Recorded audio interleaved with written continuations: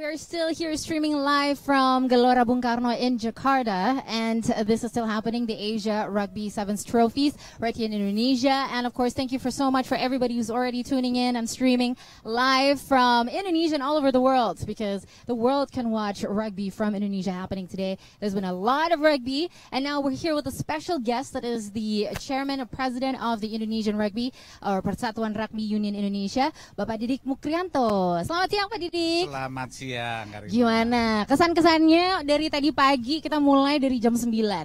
Indonesia luar biasa mainnya. Gimana kesannya? Bangga nggak sih Pak? Saya bangga bukan hanya dengan Indonesia saja, bukan dengan timnas saja, tapi alhamdulillah eh, seluruh pelaksanaannya luar biasa. Saya tidak bergeming dari lapangan dari tadi pagi, Karina. Luar biasa. Tapi gimana rasanya Pak?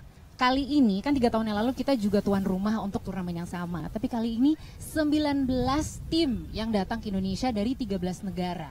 Eh, gimana kesan-kesannya sampai akhirnya kita bisa men, apa ya merealisasikan visi seperti ini?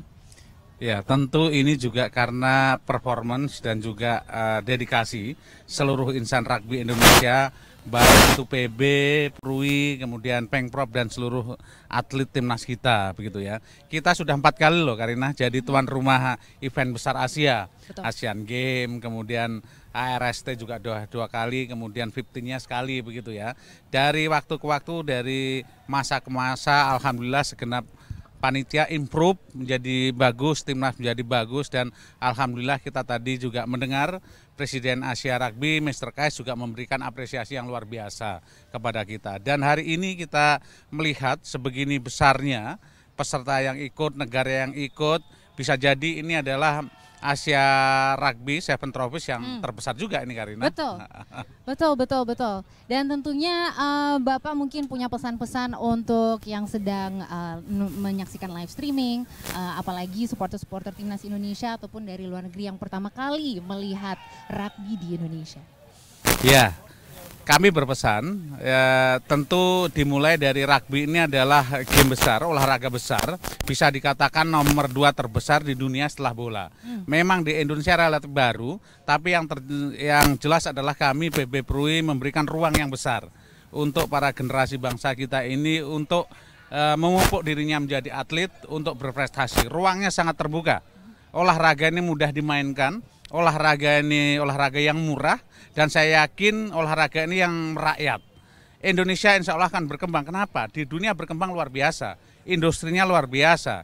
Selain kita memupuk moral dan karakter generasi bangsa, insya Allah mudah-mudahan rugby ini juga mampu mengangkat ekonomi-ekonomi sirkuler di Indonesia dari sisi olahraga. Amin. Ada pesan-pesan terakhir mungkin untuk timnas yang akan main ronde keduanya nggak lama lagi nih Pak. Siap-siap. Ya, tentu saya bangga kepada timnas kita. Eh, luar biasa main kalian, tapi ini adalah pertandingan. Tidak boleh hitung-hitungan di atas kertas. Kalian harus terus fight untuk merah putih. Ada Garuda di dada kalian.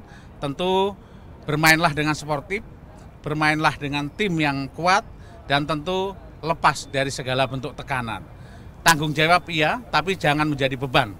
Jadi lepas mainnya. Tanggung jawab iya nggak boleh jadi beban. So break responsibility but don't let it pressure you. Susah ya ngebalance siapa ya. Pak Didik terima kasih banyak untuk waktunya. Oke, Uh, sama. dan semoga uh, ini semua turnamen bisa uh, berjalan dengan lancar tentunya. Insya Allah, insya Allah Karina. Thank you. Thank you. Well, this is one live streaming interview. We have more guests for you coming right up, so make sure to stay tuned with us on the live stream from the Asia Rugby Sevens Trophies.